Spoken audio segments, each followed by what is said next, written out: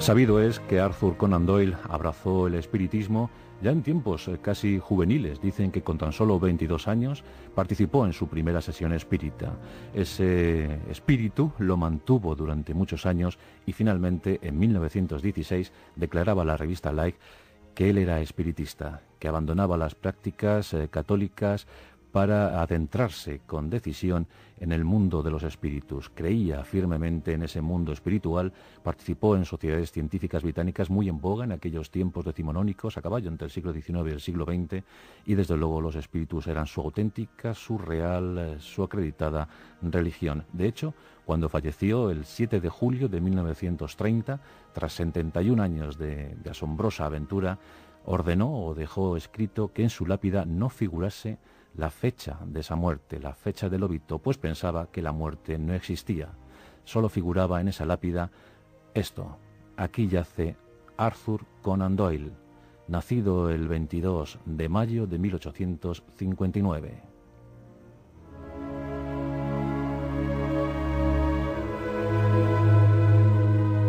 Y para finalizar ese epitafio, pues una frase rotunda, rotunda que, que definía su, gran biografía. Temple de acero, rectitud de espada.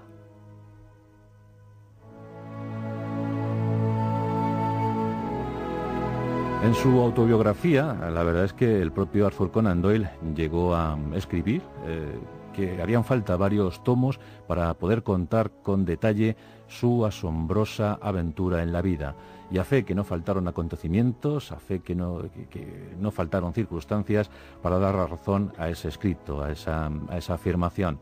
Arthur Conan Doyle nació en Edimburgo, Escocia ese 22 de mayo de 1859. Eran tiempos victorianos, tiempos de conquista, tiempos imperiales. Ese imperio en el que él tanto creyó, al igual que otros autores coetáneos suyos como Rudyard Kipling. Lo cierto es que Arthur Conan Doyle siempre se distinguió por esa defensa enconada, esa defensa encendida del imperio británico, el gran emanador de cultura, el gran emanador de civilización desde la metrópoli londinense, una especie de nueva Roma, de nuevo imperio romano pero trasladado a los tiempos de la reina Victoria.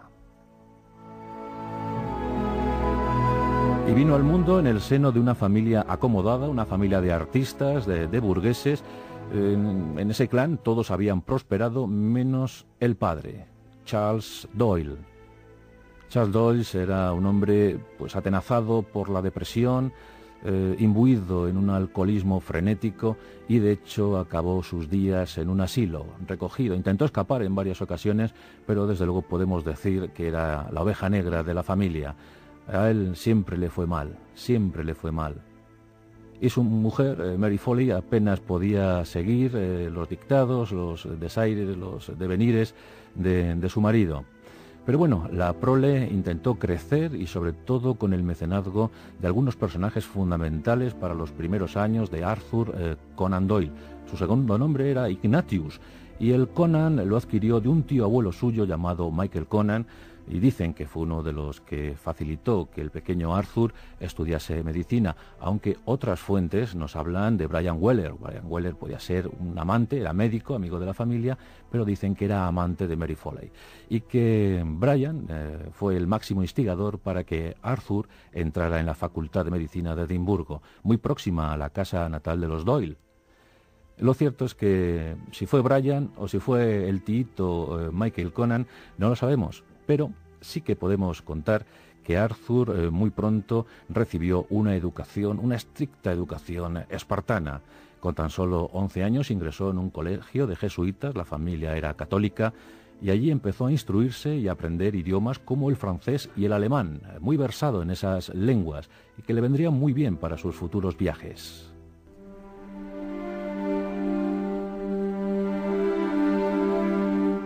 En 1876, justo cuando un tal George Armstrong Custer eh, moría en Little Bighorn, allá en los lejanos Estados Unidos de América, víctima de caballo loco y sus guerreros, pues en ese año de 1876, 100 años fundada la nación norteamericana, y Arthur Conan Doyle ingresaba en la Facultad de Medicina de Edimburgo.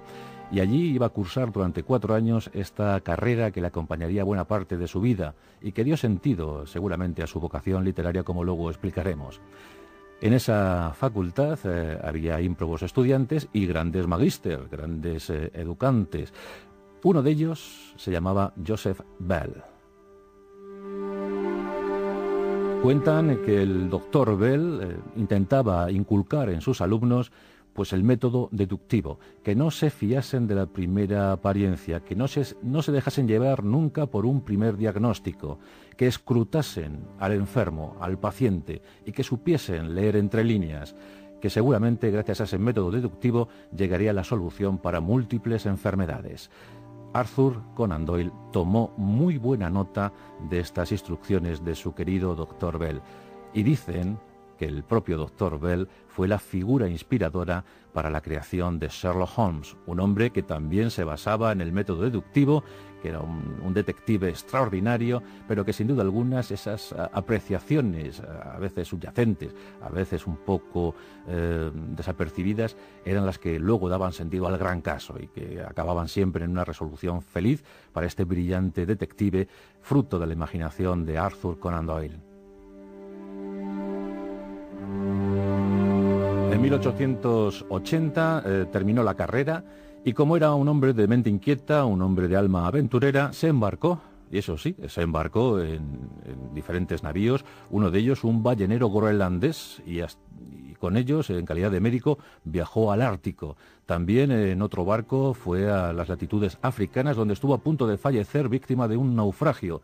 Un hombre siempre eh, sometido a los avatares de la historia y siempre con suerte. Decían que tenía baraca, que tenía la facultad de escapar de los más eh, difíciles peligros. Pero embarcado como médico estuvo un tiempo, unos años. Finalmente se cansó de tanto trasiego marinero y decidió establecerse en su Reino Unido, en su querido Reino Unido. En Saxi montó una consulta, una consulta que a decir verdad no le fue nada bien. Los pacientes no abundaban, no se fiaban de aquel joven eh, pero comprometido galeno y no visitaban esa consulta. En los tiempos perdidos en los que el joven doctor Conan Doyle intentaba pues eh, pescar a algún paciente, pues en esos tiempos eh, perdidos, eh, esos tiempos de asueto, de ocio, empezó a, crear, empezó a imaginar y sobre todo empezó a sospechar que la literatura, su auténtica vocación, junto a la medicina, le podría proporcionar algunos beneficios. Y surgieron las primeras obras que, bien es cierto, no fueron de hondo calado entre la crítica y el público, apenas se vendieron. Lo que sí llegó en este tiempo fue su boda, su primera boda eh, con Mary Louise Hopkins, con la que tuvo dos hijos.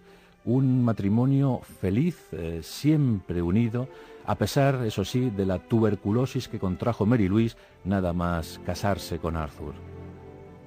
Arthur fue fiel durante unos años a Mary Louise y a pesar del amor que, tuvo años después eh, con Jane Lakey, pues no quiso, no quiso eh, dejar abandonar a su mujer enferma y siempre estuvo a los pies de su cama, siempre la estuvo cuidando, siempre la estuvo llevando pues a clínicas, a sanatorios, incluso en Suiza, donde, por cierto, Arthur Conan Doyle se consagró como uno de los introductores del esquí.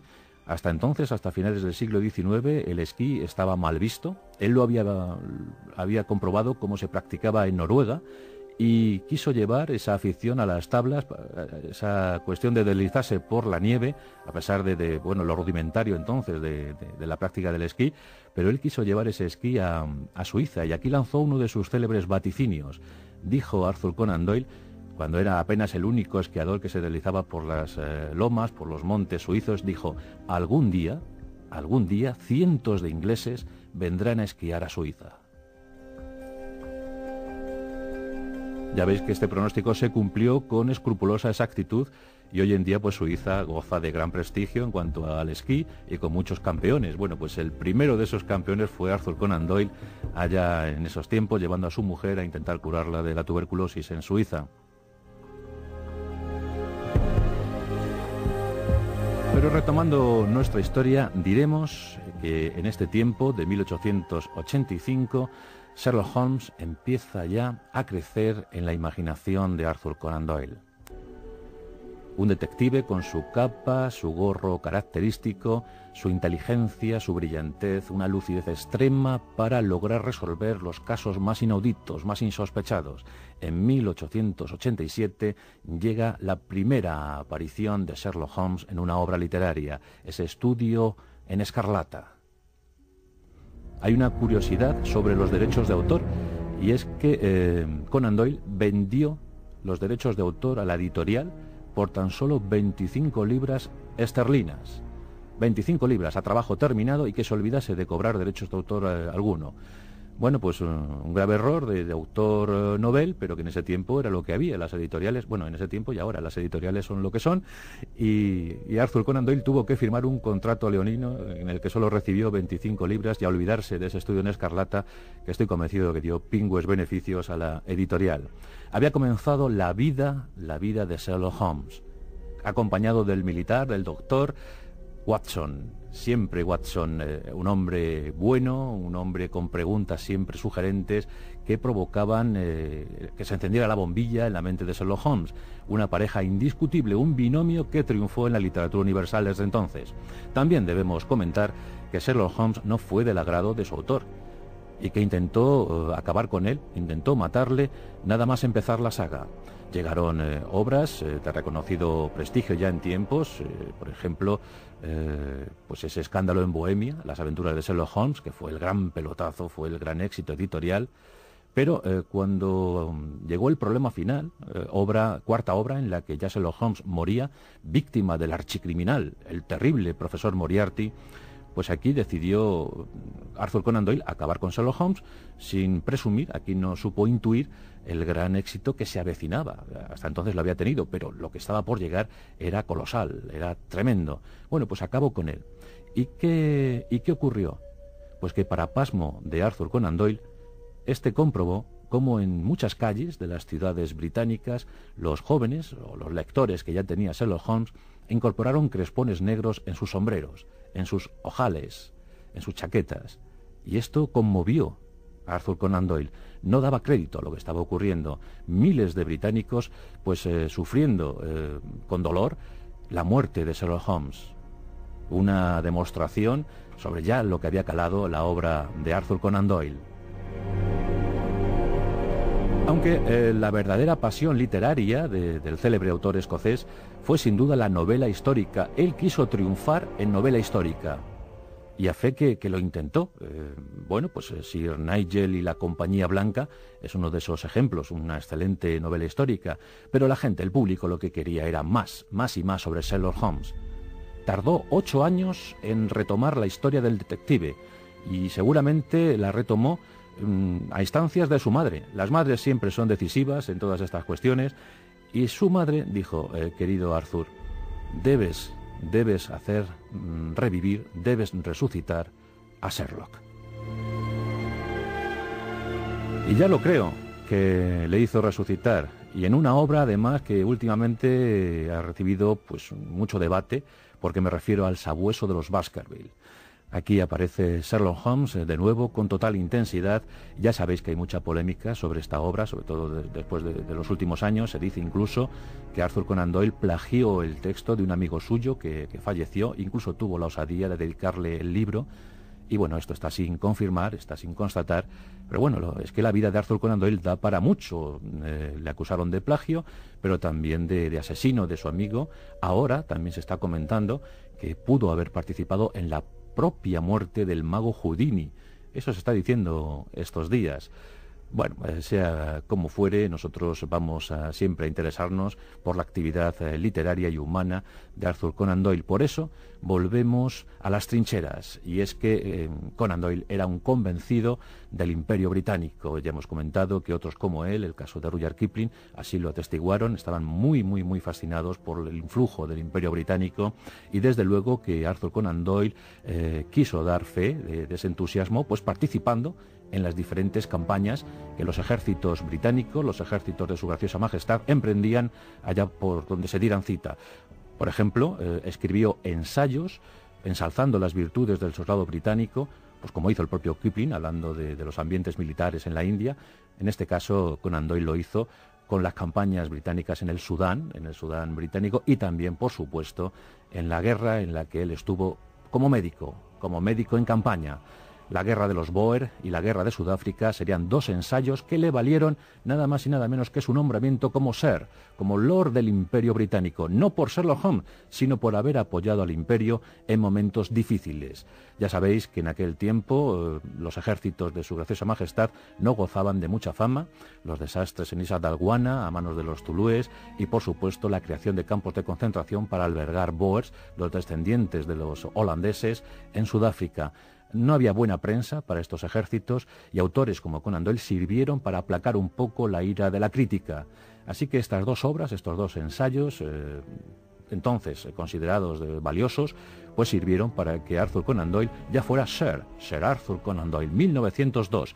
Por cierto, su madre también intervino porque él no quería eh, asumir el título, no quería recoger ese honor y la madre le animó diciéndole que era más que necesario y que sería muy positivo para el Imperio Británico que alguien como él fuese Sir.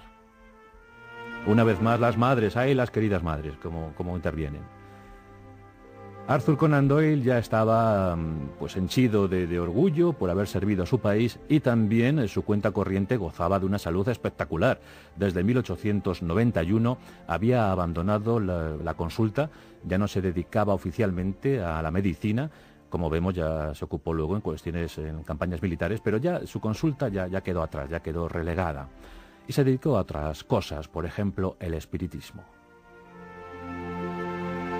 Desde los 22 años eh, participaba de forma frecuente en esos rituales eh, espíritas, en esas mesas, en esos veladores. En aquel tiempo las hermanas Fox eh, pues habían dado paso a esa corriente espírita, si bien es cierto que en 1888, justo el año en el que actuaba un tal Jack el Destripador en Whitechapel, en, en Londres, pues justo en ese año pues una de las hermanas Fox admitió que, bueno, pues aquellos raps, aquellos sonidos, ¿os acordáis? Pues eran producidos por los dedos de sus pies.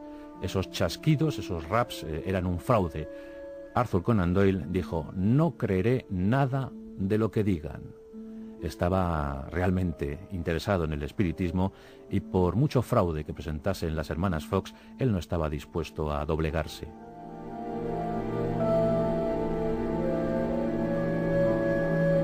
Estalló la Primera Guerra Mundial y él quiso participar como médico. Incluso intuyó cosas que iban a suceder, por ejemplo, la guerra submarina. Nadie le hizo caso salvo un tal Winston Churchill. Winston Churchill era otro tipo intuitivo, ¿verdad? Eh, también premio Nobel como Rudyard Kipling, eh, y bueno, la verdad es que se fió, o, por lo menos tuvo en cuenta las afirmaciones de Conan Doyle, no como otros lores del almirantazgo que pensaban que era simplemente un, pues un visionario, un, loco que afirmaba cosas sin sentido. Pues razón no le faltaba al decir que la guerra submarina sería el peligro más eh, real para el imperio, en aquella guerra tremenda que debería acabar con todas. Miles, centenares de miles, Millones de soldados acabaron muertos en las trincheras, una guerra devastadora, cruel, absurda. Y los hijos de Conan Doyle también participaron en aquel conflicto. Con Mary Louise había tenido dos y tras el fallecimiento de esta ya había casado con, eh, su mujer, con su amante hasta entonces, ahora su segunda esposa, Jane Lakey, y con ella tuvo otros tres. Pero uno de los hijos de Arthur Conan Doyle murió en las trincheras, murió en ese conflicto, en la Primera Guerra Mundial. Fue en 1918, justo el año en el que terminó esa guerra. Dos años antes, Arthur Conan Doyle había afirmado en la revista, en la revista Life que él era un eh, fanático defensor eh, de la práctica espírita, que había abandonado el catolicismo para convertirse al espiritismo. Y dio pábulo a historias que denostaron su imagen, eh, desde luego, y nos acordamos lo acontecido precisamente en medio de la, de la guerra mundial, donde los británicos necesitaban historias emocionantes, eh, historias eh, bellas, que, les hiciesen olvidar los rigores de, de, la guerra y tantos miles de jóvenes británicos que estaban muriendo en el frente. Bueno, pues aquí llegó la historia de las hadas. Unas jóvenes afirmaron haber fotografiado hadas. Cinco imágenes se nos presentaban esas hadas, esos seres féricos, en situaciones ensoñadoras. Y Arthur Conan Doyle dio pábulo, dio sentido a esa historia, se aferró, quiso aferrarse a esa historia de las hadas de Glay y publicó un libro, un libro que posteriormente pues, se volvería en su contra al comprobarse que esto fue un simple fraude. Fue un montaje en el que cayó Arthur Conan Doyle, como en tantos casos. Eh, Arthur Conan Doyle, como estaba tan convencido, estaba tan creído de, este mundo espiritual, de este mundo paranormal, pues cayó con demasiada frecuencia en estos errores, en, estos eh, fraudes, en, bueno, una situación rara. Harry Price, que fue uno de los desmontadores oficiales de, estos asuntos eh, paranormales, llegó a decir, tras una conversación con Arthur Conan Doyle, es un genio inmenso, es un talento inabordable, pero tiene corazón de niño.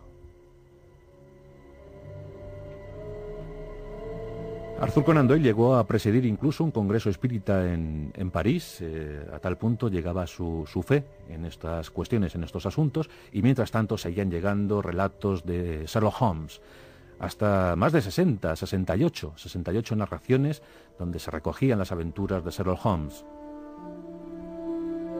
El autor escocés era también un gran seguidor de Edgar Allan Poe, cómo no, cómo no, igual que Julio Verne, os acordáis cuando hablábamos de Julio Verne, que este quiso pues rendir homenaje al, autor norteamericano, Edgar Allan Poe, que tan joven murió con 40 años tan solo, pero quiso rendir homenaje con una suerte de relatos viajeros llamados viajes extraordinarios, pues eh, emulando a, sus narraciones extraordinarias. Bueno, pues yo creo que Arthur Conan Doyle también quiso rendir homenaje a Edgar Allan Poe en su Sherlock Holmes. Eh, Edgar Allan Poe era el gran maestro del terror y del misterio, pero eh, Arthur Conan Doyle, para diferenciarse, lo que hizo fue hablar de detectives, novela detectivesca, novela policíaca, el gran detective, el gran indagador, el gran escrutador de seres humanos, de almas, Sherlock Holmes.